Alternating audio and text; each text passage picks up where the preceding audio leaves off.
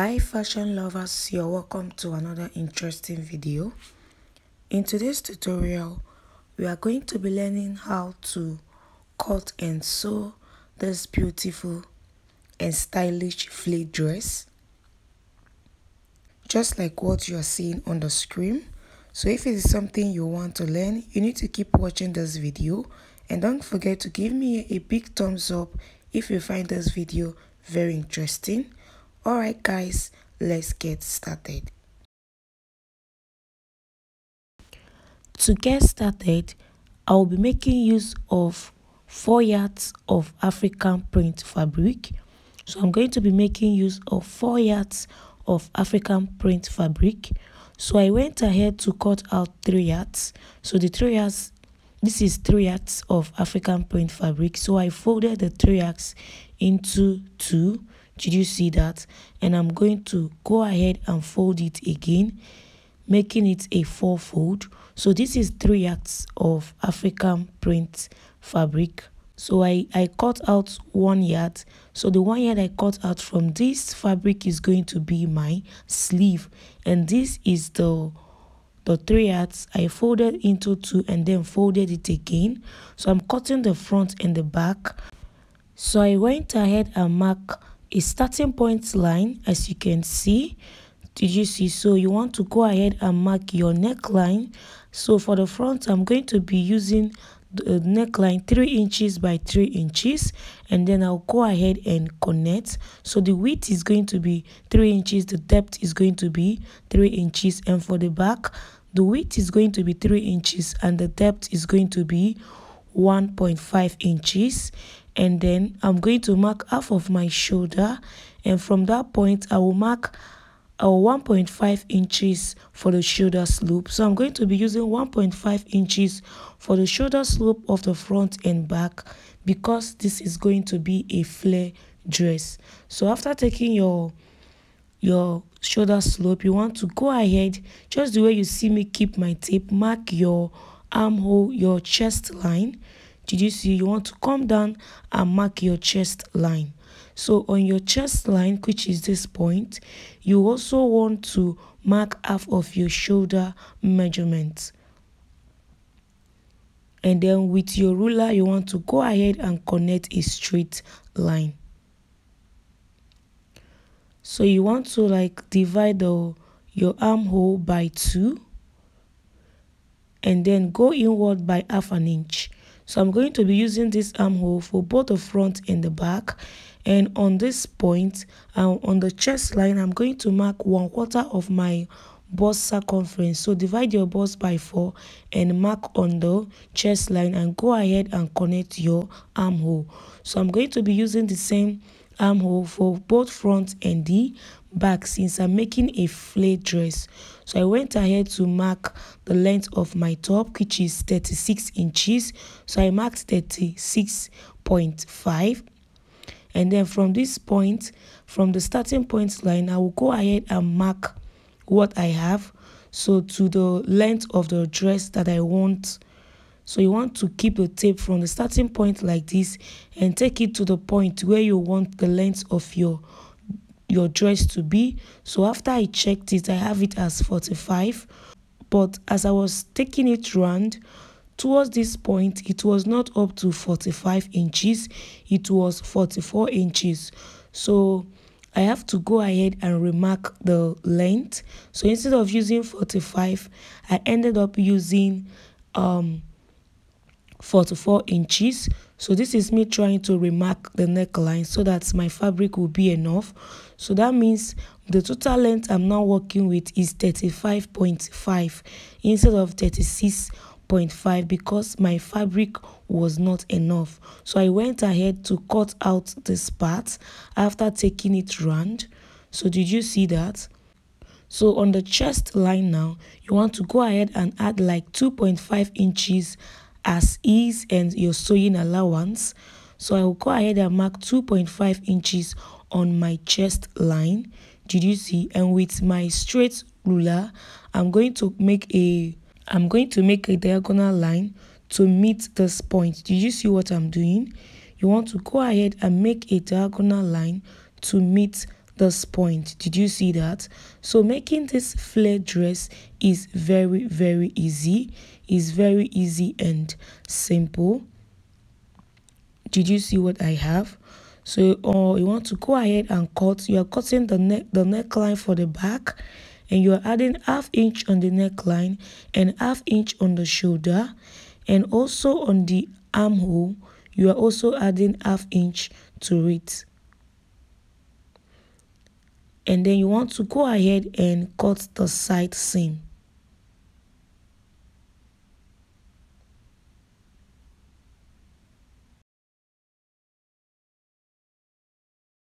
So when you are done cutting this is what you are going to have. So you want to open it up. You can see i have two pieces. So you remove one which is going to be the back part and for the part that is going to be the front you want to go ahead and fold it again and then cut out the neckline for the for the front and add half inch to it as you are cutting. So the next thing is to do the design on the top. So from the shoulder you want to come down by 12 inches. Did you see? You want to come down by 12 inches. So that is how how deep i want the v to be the v neckline to be. So you want to mark 2.5 inches at that point. And on the bottom part here you want to go ahead and mark 2 inches. And then you want to you know connect. So this part is going to be the part where the black fabric is going to be. So from this point from the shoulder line you want to divide the shoulder by 2 and then from that point you make a straight line to meet this line here. You make a straight line to meet this line at this point. This is me trying to get that design on the front part. So i'm going to use my pattern master to make a curve because the design on that front part is a bit curvy so that is why you see me using my pattern master to make that curve. Did you see? So this is me using my pattern master to make the curve. Did you see? So this this part now i'm going to cut it out. So i'll go ahead and cut it out like this.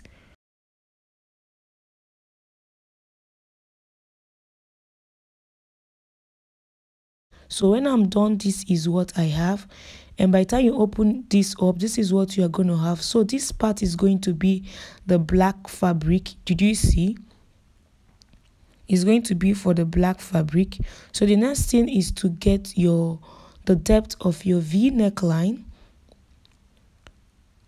So from this point you want to mark one inch and then you want to take it down to somewhere to around that 12 inches point you made earlier and then you want to go ahead and cut this out. So this is how the v neckline is going to be. Did you see? So that is the opening where you are going to be adding your button and the button loop. Did you see that? So i just this is what i did to get that point. So i'll go ahead and cut this thing this fabric on a black you know satin fabric and i'm going to be adding one inch on the side. So that one inch is going to serve as the sewing allowance of the main of this fabric and the main fabric. You know i didn't add a sewing allowance while cutting the main fabric. So the one inch you want to add is going to serve as the sewing allowance of the two side while you are going to be joining it. Did you see? So that your shoulder will not will not be shorting so you're going to be adding one inch. But when you are sewing you will sew by half inch so that you'll be able to you know you'll be able to make up for the sewing allowance of the main fabric. I hope you understood. So i'm to go ahead and cut it on the black fabric. So this is the back part. Did you see how the back part is? Let me show you so this is the back part. As you can see when you open it up this is what you are going to have. And this is the front part. When you open it up also this is what you are going to have for the front part. So the next thing i'm going to do is to cut my sleeve. This is the one yard of fabric that is remaining. So i'll go ahead and fold it like this. Did you see? You want to go ahead and fold it like this. This is my the one yard that is remaining and then you fold it again. You're going to be fold like folding in four fold like this.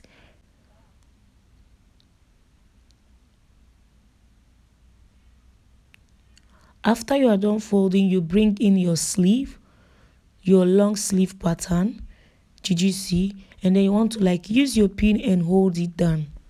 So the length i have here is 22 inches where the fabric ends i have it as 22.5 so i'm going to be using it as the length of my sleeve and i'm still going to be attaching a black fabric to the end. So let me just use my pin and pin this down. So when you are done pinning it down you can go ahead and add like um you know seven inches like this and then you know connect. But before you do that you want to like add like um two inches on the sleeve on the bicep line like this and then you want to go ahead and connect like this. But i guess the seven inches i added was small so i will just take it to the end of the fabric. So what i ended up adding was 10 inches and then you want to go ahead and cut the sleeve out. Then add your half inch on the on the upper part like this and then you know you know go ahead and cut your sleeve. So the excess i added on the sleeve is 10 inches. I think is okay for me. And then from the side here you want to go up by 1.5 inches and make a curve like this. And then you want to go ahead and trim it off.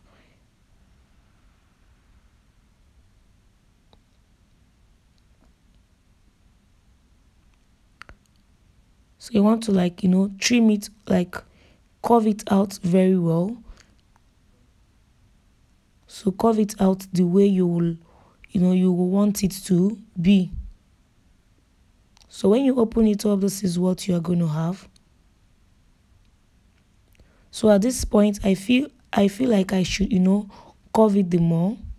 So you can you know you can do whatever thing you want so when i was done this is what i have. Did you see? Very easy and simple. And i have the two sleeves together. I have the two sleeves together. Let me just notch this point. So this is what i have so far. So i've gone ahead to cut out the front part you can see. And I've added one inch as the sewing allowance. So I've cut it out on the black fabric. Did you see you can see I've also cut out the opening the v-neck line opening. So when you open the black up the black material up this is what you are going to have. So the next thing is to get the button flap or the button loop sorry. Then I have I have a cord here. This is core cord. So i'm going to be using it. So i went ahead to cut like three inches. And that three inches i cut i'll be folding it on it so let me just you know i'm to be you know i'm to be marking like um one inch. So i'm to be like coming down by half an inch and then i will now start marking one one inch. So when you attach your loop you give a one inch difference yeah you you measure one inch and attach the next loop did you see? So let i will just attach and show you what i did. So i've gone ahead to attach the loops. Did you see the way i attached it? So i used a cord. I don't know you can use anything for this. So what i used is called a cord. So i attached it on that point uh, with one inch difference. So after attaching it i'll go ahead and cut out another fabric that is going to serve as lining and i'm going to place it right side facing each other. I'm going to place it right side facing each other.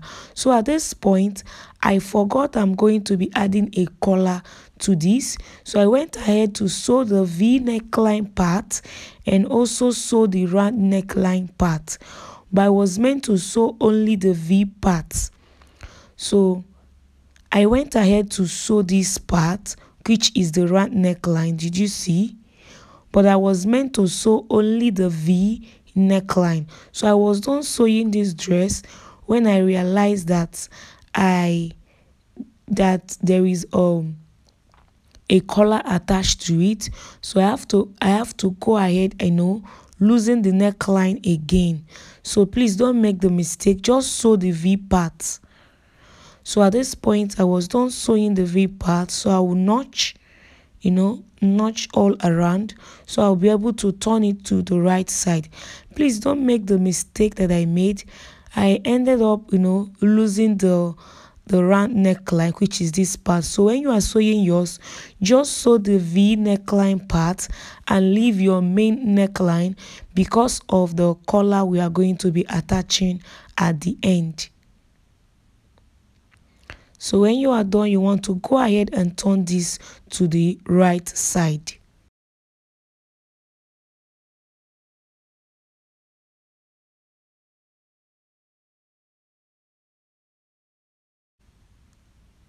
So when you are done this is what you are going to have. Did you see that?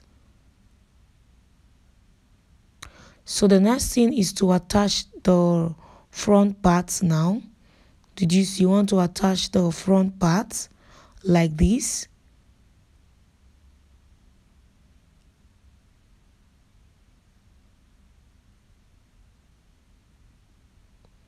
Did you see? So go ahead and join the two sides together by half an inch. So this is the back part. So i went ahead to add an inter um to add a facing to the back part but i'm not supposed to add a facing because of the collar. So i was done sewing this dress when i realized uh, that there is a collar attached to it. So but please don't add and don't add your facing to the back part. Just leave the neckline like that. So after i was done sewing the front part this is what i have. Did you see that? So i'll go ahead and sew the front and the back but you are not supposed to add your your facing. You are supposed to leave the neckline because of the of the collar we are uh, going to uh, attach to it. So it was a mistake and i'm very sorry about that. So go ahead and sew the shoulder and then also sew the side seams. Go ahead and join the shoulder and also the side seam so this is the sleeve. Did you see that? This is my sleeve. So i've gone ahead to cut out a fabric that is about seven inches in width or and then the length is the same as my sleeve length the down part of the sleeve length. So i'll go ahead and fold it into two and it's going to give me 3.5 so i'll go ahead and attach it to the two sleeves now to the down part of the sleeve so this is what i have for my my the main dress after i was done sewing so this is what i have did you see that so I will go ahead and attach the sleeve. You can see I've attached the design on the down part of the sleeve. So I'll go ahead and join the sleeve to the main, you know, to the main fabric. Did you see? Go ahead and join the sleeve to the main fabric. So at this point, I have to go and loosen the neckline again. Like I have to go ahead and loosen the neckline again. So as you can see, I'm done joining the sleeve did you see i'm done joining the the sleeve and this is what i have so far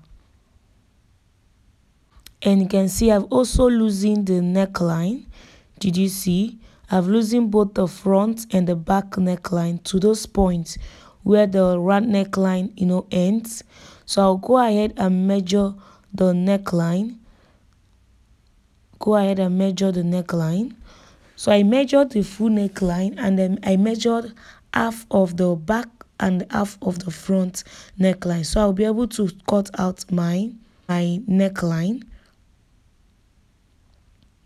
So this is me folding the neckline. So I went ahead to measure half of the front neckline. And I have it as 2.5 and I measured half of the back neckline and I have it as 4 inches. So i'm going to go ahead and cut the neckline um the the collar. So what i have total is 6.5 the front neckline gave me half of the front neckline gave me um 2.5 while the uh, while half of the back neckline gave me 4 inches. So I have a paper here. So I'll go ahead and mark 2.5 inches which is the front neckline. So this is 2.5 inches and I'll also go ahead and mark 4 inches which is the back neckline and I'm going to make a straight line at that point did you see making it 6.5 so from this part which is going to be the front part go up by one inch and then make a curve to meet the front. Did you see? To stop at that front neckline. And then you now want to go ahead and mark your 1.5 inches which is the height of your neckline. You also mark it at this point so from this point connect with a straight line. From this point connect with a curve line. Try to curve down this part like this. So with this now you have gotten your collar for the front. On this part you can come in by three quarter on one inch and make a curve like this i'm trying to get that curve on the i'm trying to get the way the collar is going to be. So this is me trying to curve out the front collar. So this is how the front collar is going to be. So this is how it's going to be. Then you want to go ahead and cut it out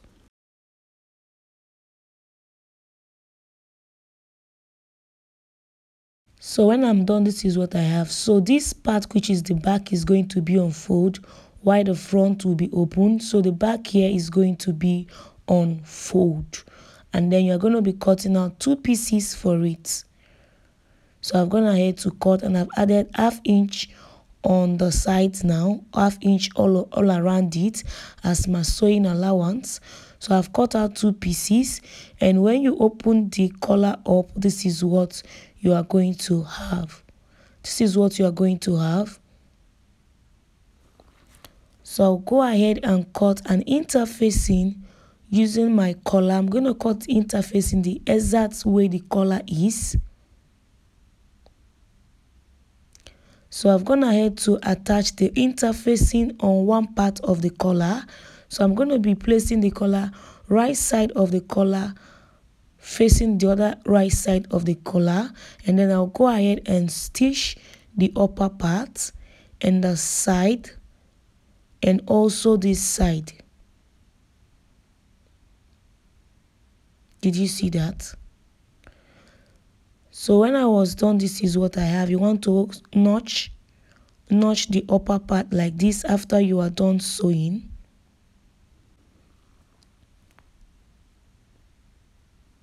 and then you turn it to the right side now.